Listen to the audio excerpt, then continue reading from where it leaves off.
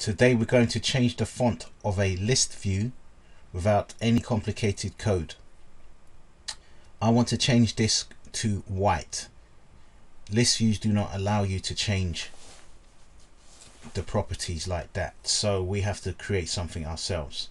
First go to your layout create a new XML layout let's call that row because I'm going to be changing the, text in the rows right?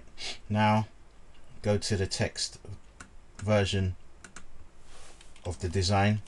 Remove the text that's there already and replace it with the code that I've already got. Now this as you can see Android text color property has been put there and changed to white. You can also center it. You can change the text size. You can do a number of things with whatever you require once you've done that go to your main activity.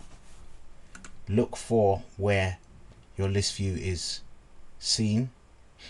And it's here. This is it. Array adapter, adapter equals new array adapter.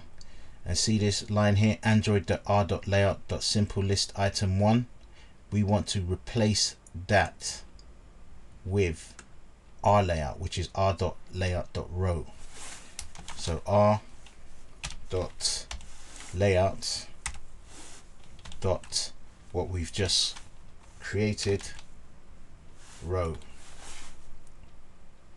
And you build that it should be a, no problem at all.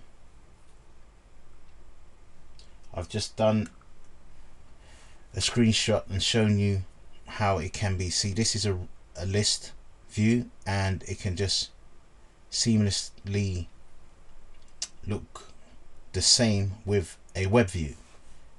So this is how it's done and I hope I've taught you something today